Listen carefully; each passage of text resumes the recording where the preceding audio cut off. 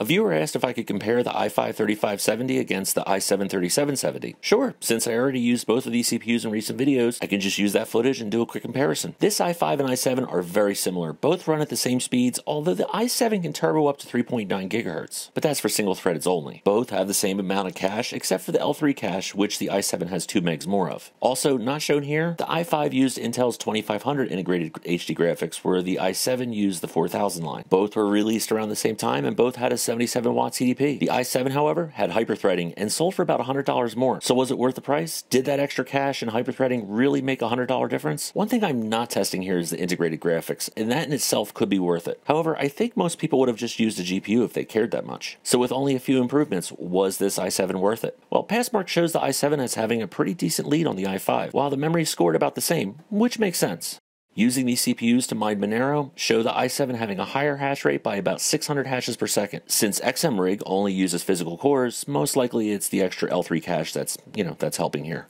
In 7-zip, they were almost neck and neck, but the i7 pulled slightly ahead, finishing 8 seconds sooner. Now, in real life, you'd never notice that. And yes, it does show a different compressed size, but uh, that's just the interface not updating.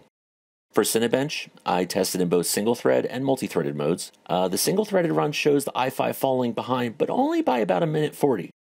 The multi threaded run showed the i7 finishing only about a minute sooner, but it scored about a thousand points higher. Now, that doesn't seem like a huge difference. However, you may be the type of person who needed every bit of speed available. With video editing, both had decent encoding speeds, but the i7 encoded 8 FPS faster on average and finished about 3 minutes sooner. As usual with the YouTube playback test, I play these videos in a browser with all hardware acceleration disabled, so it's only the CPU that's doing the work. And well, as you can see, both play the video just fine with really no noticeable differences. Heaven showed the i7 again pulling ahead, 32 FPS higher on average, and I believe the reasoning has to do with it turboing about 100 MHz higher more often than the i5, not to mention that extra cache.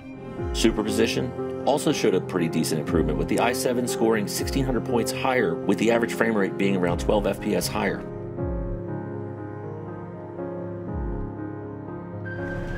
The Unreal Engine was a masterpiece and would take advantage of anything you threw at it. Here in Unreal Tournament 3, the i7 is averaging about 200 FPS higher. As you can see, obviously both run perfect, but an extra 200 FPS? Yeah, I'll take that.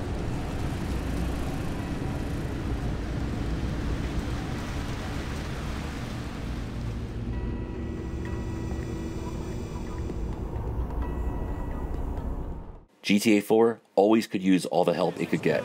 However, on the i5, this ran very smoothly and was always well over 60 FPS. The i7, however, took it to the next level, with frame rates 50 to 60 FPS higher than the i5.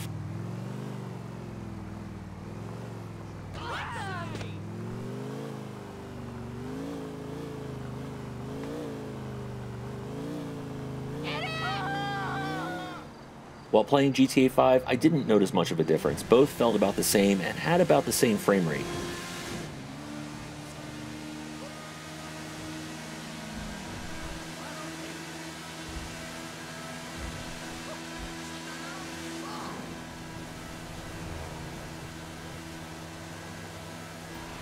The benchmark was a completely different story. The frame rates bounced around quite a bit. However, the i7 was consistently 5 to 10 FPS faster than the i5. Both, though, ran GTA 5 without any issues. Even the load times were similar.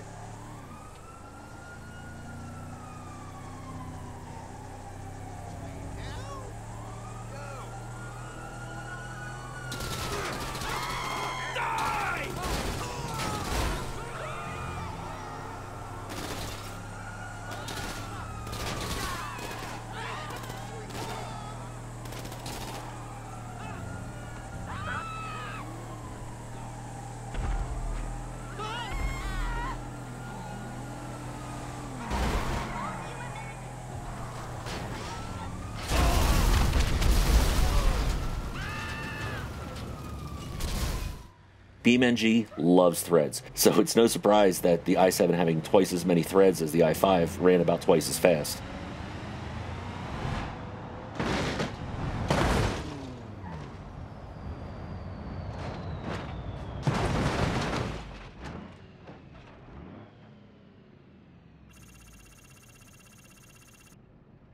The i7 scored an average frame rate of 43 FPS, while the i5 did nearly half at 24 FPS. Need for Speed Most Wanted is an older game and it doesn't really take advantage of or really need any of the extra resources provided by the i7, therefore, both perform about the same.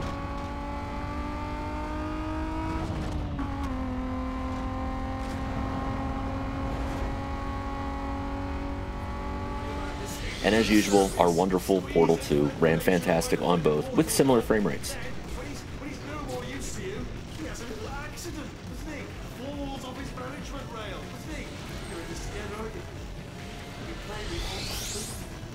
You made me think of brain damage, then you convinced me you're sworn enemies with your best friend over here.